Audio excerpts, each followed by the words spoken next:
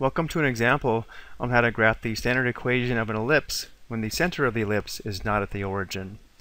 The first thing we should recognize about the given equation is that the larger denominator, or in this case 25, is under the y part of the equation and therefore the ellipse will have a vertical major axis as we see pictured here. So because the larger denominator is under the y part of the equation, our equation is in this form here, where a squared is the larger denominator and b squared is the smaller denominator. So in this case, we know a squared is equal to 25. We'll be using the positive value of a to help us graph our ellipse. And since 5 squared is equal to 25, we know a equals 5. The smaller denominator is equal to b squared, so in this case, b squared is equal to 4. We'll be using the positive value of b to help us graph the ellipse as well. So if b squared equals 4, the positive value of b would be 2. Next, to find the center of the ellipse, the center has coordinates h, k. So looking at our equation, since we have the quantity x minus 1, the x-coordinate of the center is positive 1. And because we have the quantity y plus 4, the y-coordinate of the center is negative 4. Let's go ahead and plot the center of our ellipse. 1, negative 4 would be here. Now we want to find the endpoints of the major axis, also called the vertices of the ellipse, and also the endpoints of the minor axis. So looking at our notes over here for a moment, because we have a vertical major axis, the two endpoints of the major axis, or longer axis, are a units above and below the center.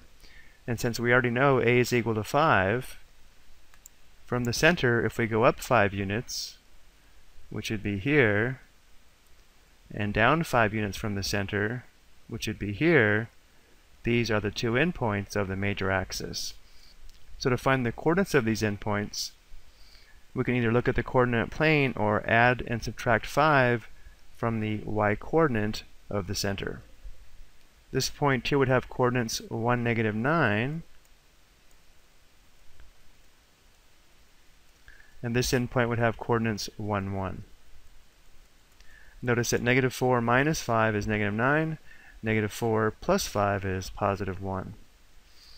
And now to find the endpoints of the minor axis, or the shorter axis, this one here, notice how the endpoints are b units to the right and left of the center. And since b is equal to 2, so from the center, if we move 2 units to the left, here, and 2 units to the right, here, these would be the endpoints of the minor axis. So to obtain these coordinates, we can look at the coordinate plane, or we could also add and subtract 2 from the x-coordinate of the center. Notice how this point here would have coordinates negative 1, negative 4.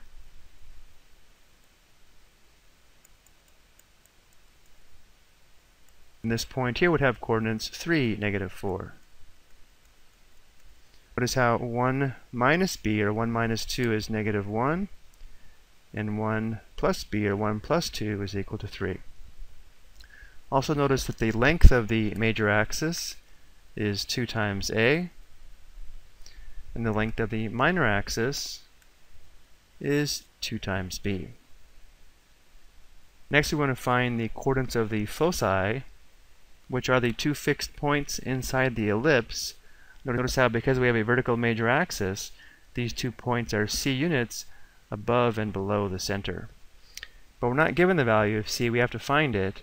We can use the equation a squared equals b squared plus c squared to determine c since we know a squared is 25 and b squared is 4. Let's go ahead and do this on the next slide. Again, we know that a squared must equal b squared plus c squared. Let's go ahead and solve this equation for c squared by subtracting b squared on both sides. That would give us c squared equals a squared minus b squared, where we know a squared equals 25 and b squared equals 4. So we would have c squared equals a squared or 25 minus b squared or 4. So we have c squared equals 21. Again, we're only concerned about the positive value of c. So we'll take the principal square root of both sides of the equation. And we have c equals square root 21, which does not simplify. But because we're going to use this value to plot points on the coordinate plane, it'd be helpful to get a decimal approximation. So this is approximately 4.583. So now going back to our problem, again we just found that c is equal to square root 21, which is approximately 4.583. And since the two foci are on the major axis, if we start at the center and we go up approximately 4.583 units, or just past 4.5, that'd be somewhere in here, this would be one focus. And if we start at the center and go down approximately 4.583 units to here, this would be the other focus. Notice how to find the exact coordinates of these two points. It'd be difficult from the coordinate plane. So what we're going to do is add and subtract square root 21 from the y coordinate of the center because the two points are above and below the center.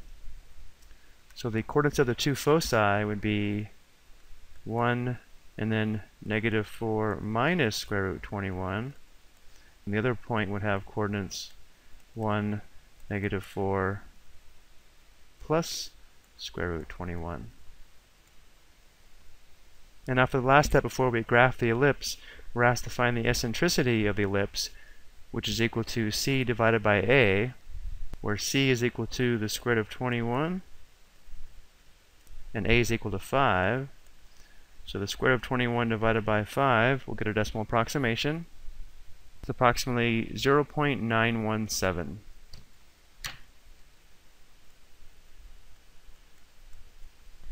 So our ellipse is going to pass through the endpoints of the major and minor axis and would look something like this.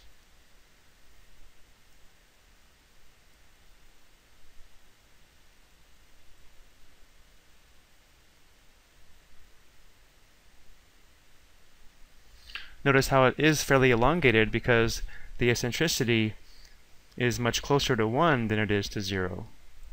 I hope you found this helpful.